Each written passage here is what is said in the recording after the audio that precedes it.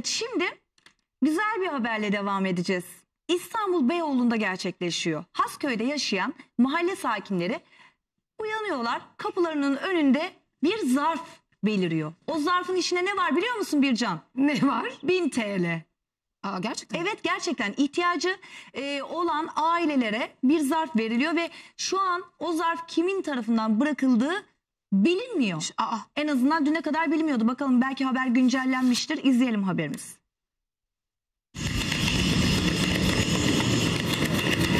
Hızır olarak e, yorumluyoruz yani. Hızır diyebilir miyiz? Hızır tam anlamıyla günümüzün Hızır'ı. Herkes o hayırseveri merak ediyor. Bana bir zarf uzattılar dediler bu hayırsever birisi ismini vermek istemiyor. Babacım biner lira bırakmışlar zarfların içinde. Burası Beyoğlu Hasköy. Gece konduların çoğunlukta olduğu bir mahallede bir ay içerisinde birçok kişi sabah uyandığında kapılarından içeri atılmış zarflar buldu. Hayırdır dedim nedir? Amca pazar açlığı yaparsınız dedi. Bir zarf bıraktım dedi. Allah razı olsun deyin yeter demişler. Sabah kalktıklarında zarfları görenler içini açtıklarında da büyük şaşkınlık yaşadı. Mahalleli artık o yardımsevere Hızır diyor. Ve işte bulunduğumuz bu gece konduya da 3 adet zarf bırakıldı. Yaşar Bilgi de o zarflardan birini alanlardan. İçerisinde 1000 lira vardı.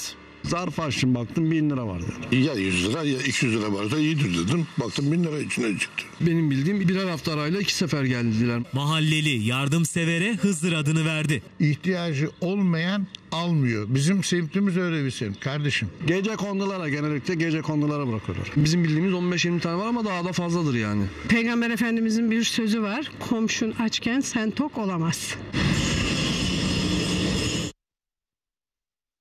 Hızır, Kur'an'da adı geçen İslam geleneklerinde yer alan ölümsüz olduğuna ve darda kalanların yardımına koştuğuna inanılan bir ulu kutsal kişi.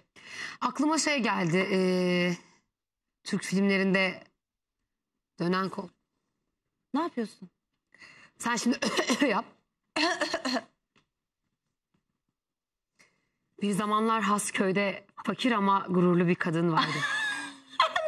Nereden niye bağladın? Artık şimdi çok zenginim ve bütün Hasköy'e yardım edeceğim. Oo. Bence böyle bir şey gerçekten. Hayır bence zengin birisinin Ama bir Hasköylü adağı bence. vardı tamam mı? Ha. Bir tuttu e, ve istediği o oldu ve e, onu da bir şekilde paylaşmak istedi. Zaten aynı fikirdeyim ama sadece tek farkımız var. Şu, ben bu kişinin de Hasköy'deyken hani Hasköylü Ha. olduğunu düşünüyorum eskiden. Ama çok güzel bir şey ya. Çok güzel bir şey tabii. zarflar atılıyor içinde bir de ne diyor abi bir 100-200 olsa iyi diyeceğim diyor bir baktım 1000 Kıyamam TL çıktı ya. diyor. Gerçekten. Ve ihtiyacı olmayanlar da almamış kabul etmemiş. Zaten en e, burun, burun sızlatan gerçek de o. Gerçekten böyle insanlar varsa gidip Hasköy'e yerleşeceğim. Yani bu, bu iş böyle olacak. Ne kadar güzel. Çünkü neredeyse cebimizdeki parayı alacak bazıları yani. Tabii canım tabii canım ihtiyacı olmadığı halde bir de ha. tabii tabii. Evet. Aynen. Ya bunu, bunu kim yapıyorsa Allah razı olsun. Kim Böyle- acaba çok merak ettim. Evet ya lütfen bize bir ulaşın. Allah ulaşır mı adam nasıl ulaşacak?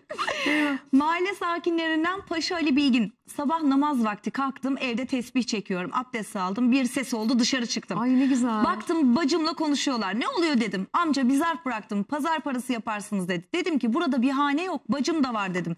Yukarılarda ona da vermişler. Dağıtarak gelmişler. Sonra gittiler.